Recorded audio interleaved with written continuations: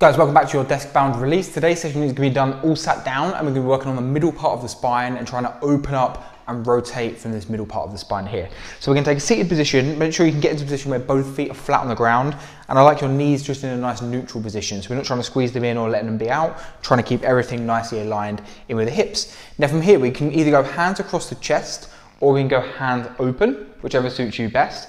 And we're just going to work on rotating round to the left and to the right. So I'm just rotating this upper torso. I'm trying to keep my knees and hips as stable as I can. So trying not to move these too much. And I'm just trying to rotate one way and rotate the other way. If I want, I can keep my neck in the same position. Or I can let my head turn, whatever feels more comfortable for you.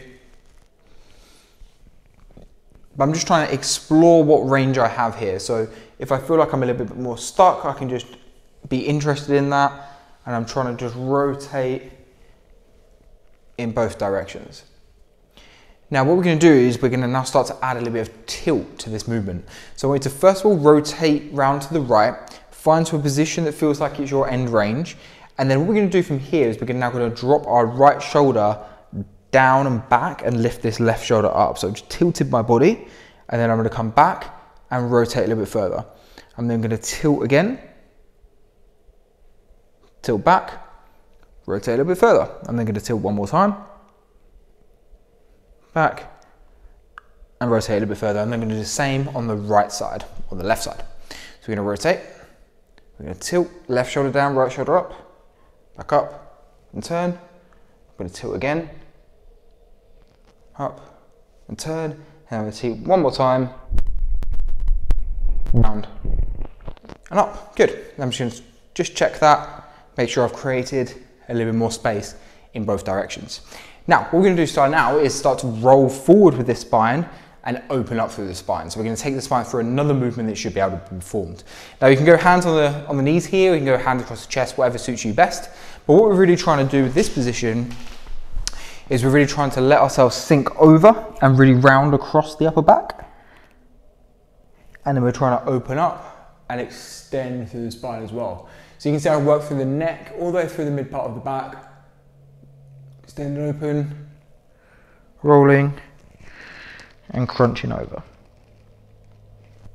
I can extend open. And flex all the way over. I'm just gonna do one more each way.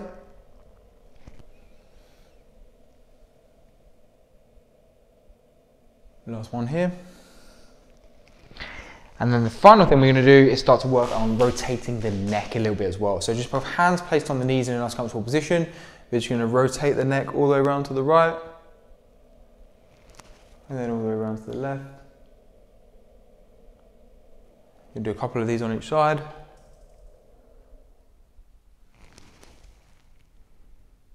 Last one here.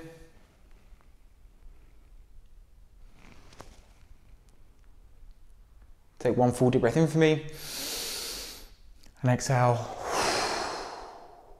One more full deep breath in. And exhale. Guys, fantastic work. That is your desk bound release done for today. I'll see you on the next video.